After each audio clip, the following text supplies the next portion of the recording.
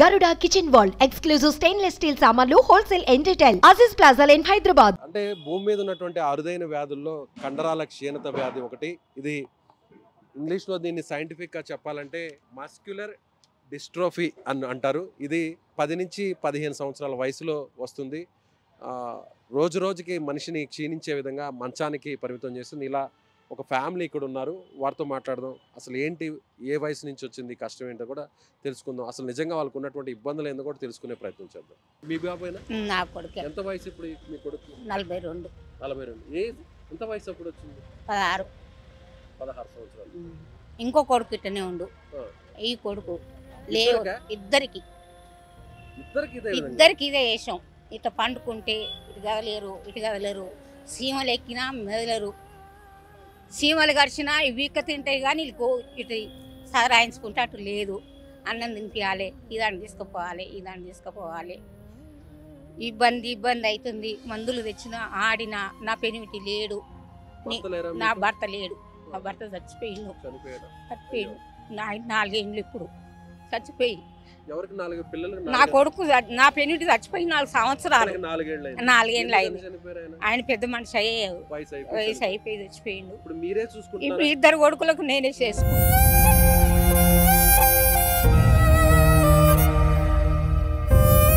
మరి మీకు ఇప్పుడు ఫుడ్ అన్ని ఎలా ఆధారం ఇక మాకేం ఆధారం లేదు నాయన ఇదే. తీసుకొచ్చే ఆహారం ఎక్కడి నుంచి పెడుతున్నారు? నువ్వు తెచ్చిగా అయితే మన పింఛను వస్తే ఆ పింఛనుతోని వాళ్ళని బతికించుకుంటా ఇది తాగుకుంటా వండుకుంటా వాళ్ళకి తీసుకొని వాళ్ళ సాకిరి చేసుకుంటా ఇంటికాడనే ఉంటా.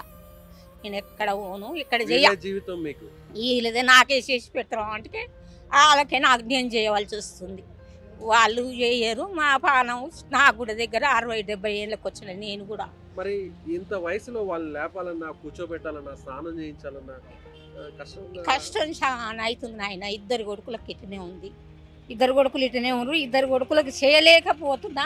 నా నుంచి కూడా అయితలేదు ఇద్దరికి వండాలి తాను చేపియాలి మందులు ఒకవేళ జ్వరం వచ్చినా ఏడికి వచ్చినా ఇంత రాత్రి అయినా నేనే పోవాలి నేనే తేవాలి నేనే వాళ్ళకి సవలత్తు చేయాలి. ఉన్నది ఇద్దరు బిడ్డలేనా? నాకు ఇద్దరు కొడుకులు ఇంకా ఇద్దరు కొడుకులు చిన్నోళ్ళు ఉంటారు వాళ్ళు. ఏమన్నా సహకరిస్తున్నారు? ఏం లేదు. మమ్మల్ని పట్టించుకొని పట్టించుకోరు. వాళ్ళు ఎవరు ఏం పట్టించుకోరు. పట్టించుకోరు వాళ్ళు ఐదురాళ్ళు ఎక్కడనే ఉంటారు సార్. వాళ్ళు సపరేట్గా వాళ్ళ ఉంటారు. సపరేట్ వాళ్ళు అంటే వాళ్ళ అన్నలకి ఏం సహాయం ఏ- లేదు. వాళ్ళ. ఏం పంపేది ఏం లేదు సార్. నిజంగా బాధపడక తల్లి. తల్లి తల్లి ప్రేమ ఎంత ఎంత గొప్పదో ఈమెను చూస్తే అర్థమవుతుంది. ఉన్న నలుగురు బిడ్డలు అయితే ఇద్దరు బిడ్డలు ఇదే విధంగా కండరాల క్షీణత వ్యాధితో బాధపడుతున్నారు. ఆ ఇద్దరిని కూడా అరవై ఐదు సంవత్సరాల వయసులో రోజు స్నానం చేపిస్తూ ఆహారం పెడుతూ అక్కడ ఇక్కడ పని చేసుకుంటూ ఆ వచ్చే మీద ఈయన మంచం మీద వండుకుంటారు. ఈయన తీసుకుపోయినా అక్కడ తీసుకుపోయినా ఇక్కడ తీసుకుపోయినా చేయాలి లేవట్టాలి పండు పెట్టాలంటే కడుపులో పేగులు వస్తున్నాయి నన్ను నుంచి అయితే లేదు సార్. నలభై ఏళ్ళ వయసు అంటే వీళ్ళకి నలభై నలభై ఏళ్ళ వయసు. ఈ నలభై ఏళ్ళ కాలంలో కడుపులో పెట్టుకునే ఒక బిడ్డను ఏ విధంగా చూసుకుంటారో అలా ఇద్దరు బిడ్డల్ని తల్లి చూసుకుంటుందంటే నిజంగా ఇలాంటి కుటుంబాలు రోజు పడుతున్నటువంటి ఆవేదన ఆ కష్టం ఆ బాధ ఆ నర ఒక మాటలో చెప్పాలంటే అది ఒక నరకంగా చెప్పాలి మనం. నిజంగా ఇలాంటి తల్లులు ఉండబట్టే ఇప్పటికీ కూడా తల్లి గొప్పతనం ఏంటి మాతృమూర్తి అని అందరికంటే గొప్పవాడు దేవుడి కంటే కూడా గొప్పవాడు తల్లి అని ఎందుకంటారో తల్లిదండ్రులను ఎందుకంటారో ఇలాంటి కుటుంబాలను చూస్తే ఇలాంటి ఫ్యామిలీస్ చూస్తే అది నిజమని మనం చెప్పాల్సిన పరిస్థితి. సో గవర్నమెంట్ స్పందించి వీరందరినీ కాస్తో కోస్తో చేతనైనంత సాయం చేస్తే మమ్మల్ని మామూలు బాధ పెట్టి నా కొడుకులకు చేయలేకపోతున్నా ఒక మరిది కూడా ఉన్నాడు. ఆయనకు పింఛన్ వస్తలేదు. ఆయన కండ్ల పడై ఆయనకు కూడా నేనే చేసి పెడుతున్నా ముగ్గురు నా పానానికి. నా పానానికి చేసి వండుకొని వాళ్ళకి సగులు అది చేసుకొని ఏడికన్నా పోవాలంటే ఇట్లా ఒక్కదాన్ని పోయి ఓ రెండు గంటలు నాలుగు గంటలు పోతా మళ్ళీ ఇంటికి వచ్చేస్తాయి పని చేసుకుంటాం. పని పని- చేసుకుంటాం. పని చేసుకొచ్చి ఆ వచ్చిన డబ్బులు ఆ, తెచ్చిలకు తెచ్చి వండుకొని పెట్టుకుంటాయి ఇక. వాళ్ళు ఓలు పెడతారు ఆయన ఓ తమ్ముళ్ళు లేరు మర్దన్లు లేరు చెల్లెళ్ళు లేరు. వీళ్ళే ఇక అంతా వీళ్ళే వీళ్ళకి చేసుకోవాలి నలుగురు బిడ్డలంట. నలుగురు బిడ్డలో ఇద్దరు బిడ్డలకి ఈ విధంగా ఇబ్బంది అయింది. ఆ వ్యాధితో ఇబ్బంది పడుతున్నారు. మిగిలినటువంటి ఇద్దరు బిడ్డలు వీరిని వదిలేసి వారి పాటికి వాళ్ళు బతుకుతున్నారు. ఇప్పటి వరకు కూడా ఒక్క రూపాయి కూడా సాయం చేయకుండా అటు తల్లిని వదిలేశారు అన్నల్ని వదిలేశారంటే సోదరులను కూడా వదిలేశారంటే నిజంగా అలాంటి వారు కూడా ఈ భూప్రపంచం మీద ఉన్నారు అంటే అది బాధ అనిపిస్తుంది. అలాగే ఇలాంటి తల్లులు ఉన్నారంటే కూడా నిజంగా గొప్పగా చెప్పాల్సినటువంటి పరిస్థితి. మనుషులు అటు ఉంటారు ఇటు ఉంటారంటే ఇలాంటి వారిని చూస్తేనే మనకు అర్థమవుతుందని చెప్పాల్సినటువంటి పరిస్థితి. సో గవర్నమెంట్ రెస్పాండ్ అయ్యి అలాగే ఎవరైనా దాతలు సహకారం అందించి ఎవరైనా మనసున్నటువంటి మహారాజులు ముందుకొచ్చి ఇలాంటి వారిని ఇలా కండరాల క్షీణత వ్యాధితో బాధపడుతున్నటువంటి వారికి కాస్త కోస్త సహాయం అందిస్తే బతకాలి బతికిన రోజులు కూడా కాస్త కోస్తో సంతోషంగా ఉంటాము అనేటువంటి ధైర్యాన్ని నింపాలని సుమన్ టీవీ కూడా చాలా మనస్ఫూర్తిగా కోరుకుంటుంది. అలాగే ఎవరన్నా దాతలు ముందుకొచ్చి ఇలాంటి వారికి సపోర్ట్ చేయాలని కోరుకుంటున్నాం. చేతులు ఎత్తి దండం పెట్టి నీతో మాట్లాడదామన్నా కాళ్ళు లేవయి చేతులు లేవయి ఇటునే పండుకొని ఇటునే ఉంటారు. ఇటు దొలిపాలి ఇటు దొలిపాలి ఎంతసేపు అయినా పొద్దున్న నానకం అనుకున్నా కానీ కదలరు. కదలరు కదలరు. సీమ కొట్టి సీమ కొట్టుకుంటున్నా ఆ, మాట్లాడతాం. నా పేరు రవీందర్. నాకు చాలా ఇబ్బంది ఉంది పరిస్థితి. మా అమ్మ లేకుంటే మాది మరి ఘోరంగా ఉంటుంది. ఇలా మా తండ్రి చని- మా డాడీ చచ్చిపోయిండు. ఇలా మా అమ్మ ధైర్యం లేకపోతే మేము ఎప్పుడో పోతోలే అంత మరి ఘోరంగా మా పరిస్థితులు మరి ఘోరంగా ఉన్నాయి. లేకపోతే మేము ఇక ఏడికి పక్కన కూడా వాడు చూసేటట్టు కూడా లేదు.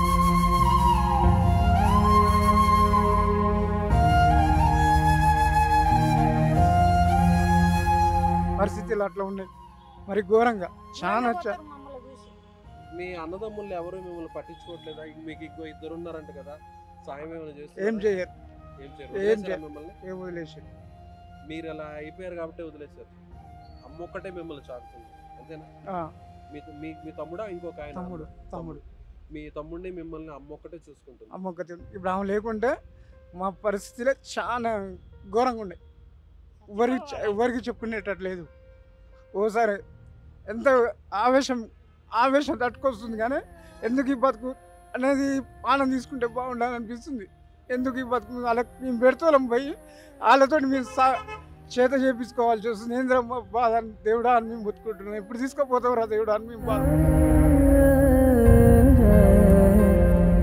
అరవై ఐదేళ్ళ వయసులో అమ్మను చూసుకోవాలని ఎంతో కలలుగాని ఉంటారు తల్లిదండ్రుల్ని కానీ ఆ తల్లే ఇప్పుడు మీకు కడుపు అన్నం పెట్టాల్సింది మమ్మల్ని ఒక చంటి పిల్లని చూసి చూస్తుంది. మేము వాళ్ళ బిడ్డ పోయి మేమే వాళ్ళతో చేపించుకునే కాడికి వచ్చింది మా పరిస్థితి. ఏంది మాకు ఎందుకనేది ఆ దేవుడు ఎందుకు మా- మమ్మల్ని ఎందుకు ఉంచుడో దేని కూర్చుండో తీసుకోకపోతే మాకు చాలా బా- సంతోషం అనిపిస్తుంది.